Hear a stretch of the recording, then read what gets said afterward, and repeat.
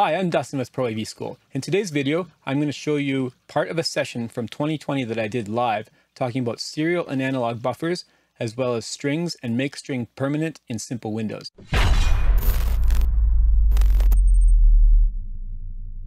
Now, quick note, the quality isn't that great, but it's still good content, and I think you'll get a lot of value from it. First, we'll talk about the analog buffer.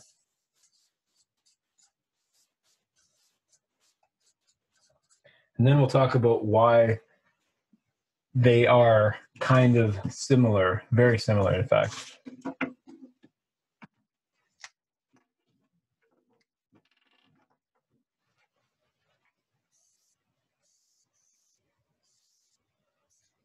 So this looks a lot like a, um, a digital buffer,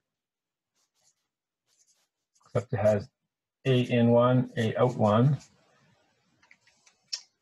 The enable line is blue. It's filled in, you can't expand that. Now, here's the trick.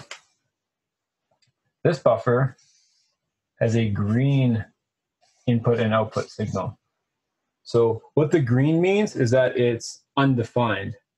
So there's actually, remember there's the three states, the red, green, and blue for analog, or sorry, red, blue, and black for analogs digital. I should have written that down. Analog, digital, and serial. Well, there's a fourth, and that's kind of not known, unknown.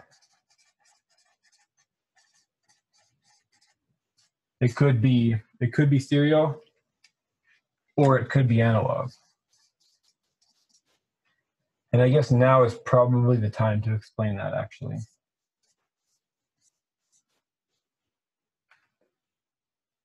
So first, before I explain why it could be both, I just want to explain that a green signal cannot actually be compiled. So if these are sitting as green, your program is not going to be able to compile. It needs to know, the compiler needs to know what kind of signal to attach to, even though underlying they're kind of similar, and I'll show you that in a second.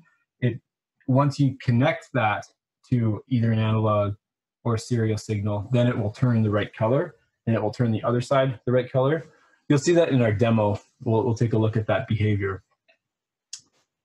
And the reason that a serial and an analog are very similar, even though they don't seem that way, is this concept that um, a serial signal in SIMPL is a series of ASCII characters.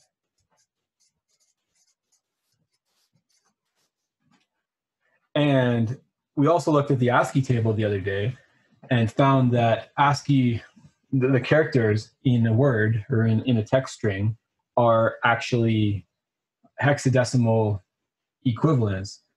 And you can also represent that as a decimal. So remember the, that whole 16 bit discussion where it doesn't matter what the scale is or what fits in there, it's still the same underlying number structure.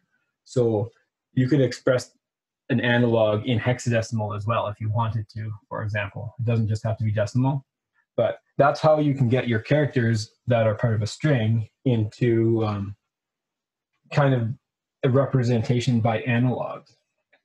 So if you have the word, we'll just use the word analog. And you look at it as it's propagating through. So going this way, you're reading the A, then you're reading the N, then you're reading the A, then the L, zero, the O, and G. That's happening on a time-based um, sequence, basically. It's it's really fast, and you're not going to really see it in the middle of that that kind of flow, but it happens as as time passes. So the first thing you're going to look at, the first thing that it's going to see, the symbol that's receiving that signal is going to see whatever, and I, I didn't look them up because it doesn't really matter. We'll just say it's X. That's the decimal equivalent in the ASCII chart of an A.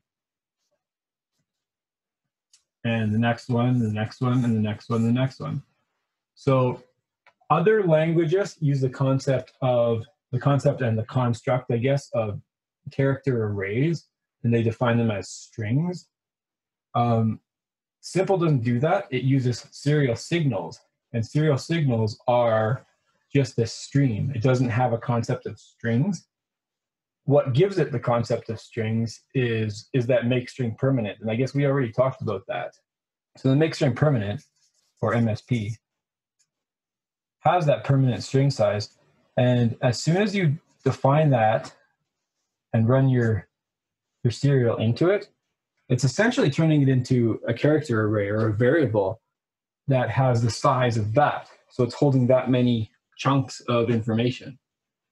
And when it's called on essentially to repropagate, it will push that whole thing through. Whereas if you don't make it permanent, then it's just there and gone, like I explained yesterday.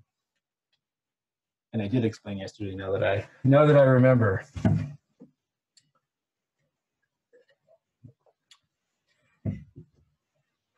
So the other way to send, um, or the other buffer that we're going to look at here is the serial buffer.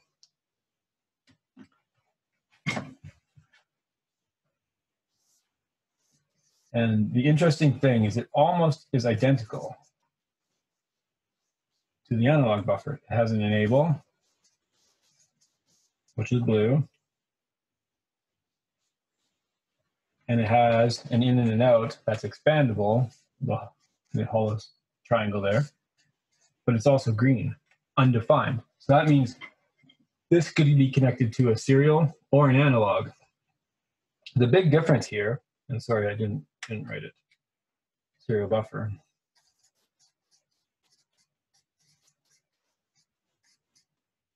The main difference is how it works with strings if they are um, trying to say this properly. It's how it works with strings if they are defined as make string permanent or if they're just serial signals. So the serial buffer, what color should I use? Maybe I'll use red.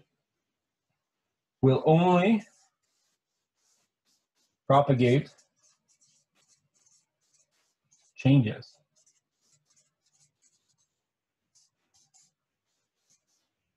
So when that enable line is high, right like that.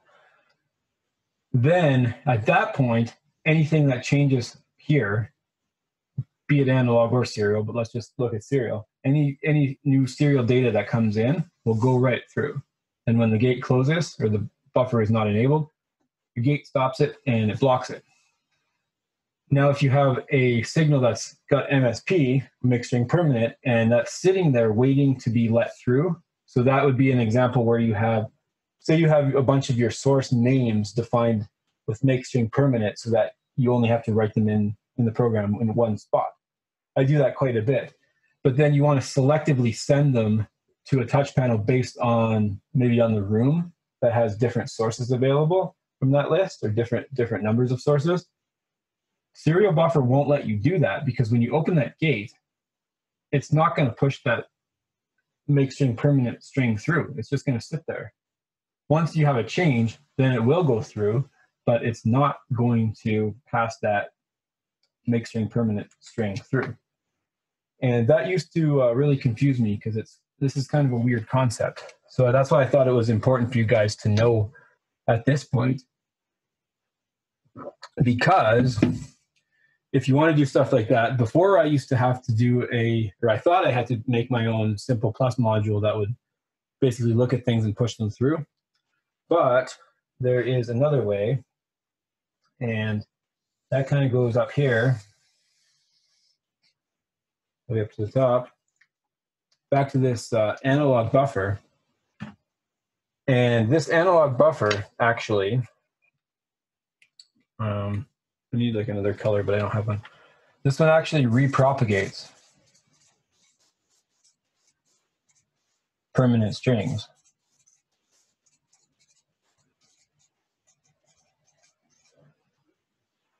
I'm not sure why they chose the analog buffer to have that functionality and not serial buffer, but that's the way it is. So in my example before, you could do the exact same thing.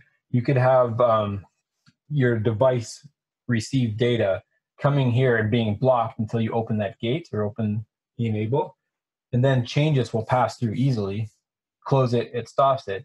But if you run a signal that's been run to a make string permanent so that it becomes a uh, make string permanent signal string, I guess you could say. The permanent string, I guess, would be the right terminology. If you do that, it's, it's sitting here on this input. Like, remember that source name I was talking about? The minute this goes high, the data is actually going to pass, and the data in this case is going to be black. The data is actually going to pass through. It's going to push it through, even though it hasn't repropagated. So in most cases, and somebody had this observation this morning, is well, why don't I just use an analog buffer? And to be honest with you, most of the time that's what I do because I don't really need to be restricted by what the serial buffer kind of stops you from doing.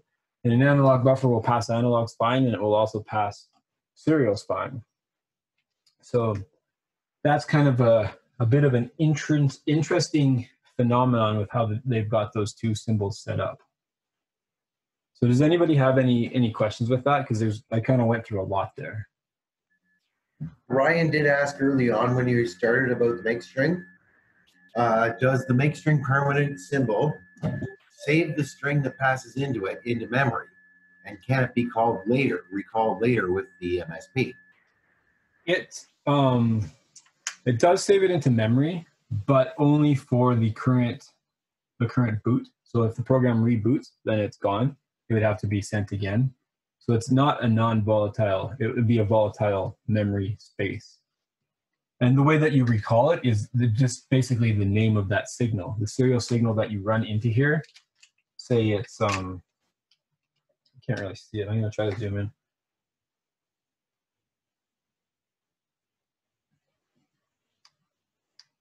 Say your signal name is test. And you've created it somewhere else. You have like an M send, or a, sorry, a send, and you put test into this test signal. Whoops, can't see that. There we go. Sorry, I'm writing really small here.